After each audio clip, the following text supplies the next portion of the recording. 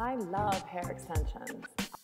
I'm Tiffany Twist, and this is my hair extension studio. Welcome to West Coast Hair. I've been wearing my product for over a decade. I've used lots of tools and gained lots of experience and can help you get the best wear for your hair extensions because I have made every mistake. Hopefully, sharing with you will allow you to learn about both my styling successes and those things I avoid. I get a lot of unsolicited compliments for many of my styles, and you will too.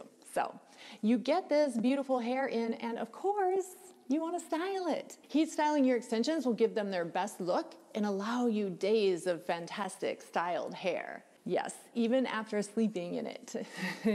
We're installing high quality 100% human hair. You can style it just like your own hair. You can use a hair dryer, flat iron, curling iron, hot rollers, Velcro rollers. There are just some precautions you'll take when doing so. You be sure you are keeping the attachments protected from too high heat. What is too high heat?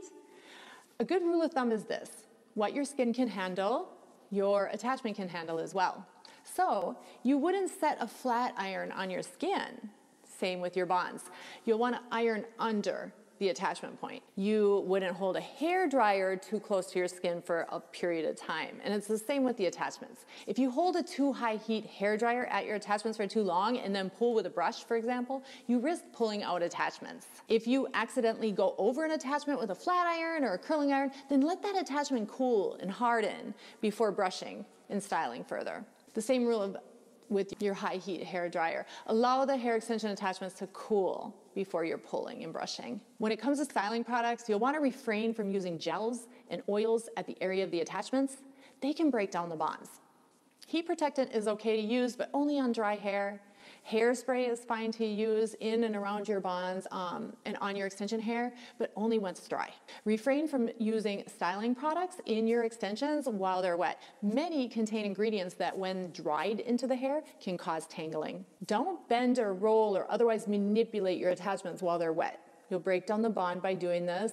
Because the soft bond merely holds the extension hair in place and does not attach to your hair, you'll lose extensions sooner over time if you do this. I do recommend my 3D oil for your heat protectant. This is also great for taming frizzies in your hair, especially during the dry winter. We know that ultimately heat styling is excellent to give you um, a great finished look for your extension wear and one that will give you great looking hair for many days. You want to be thoughtful in the tools you use and one thing I want to recommend is that you learn to use a curling wand over a curling iron.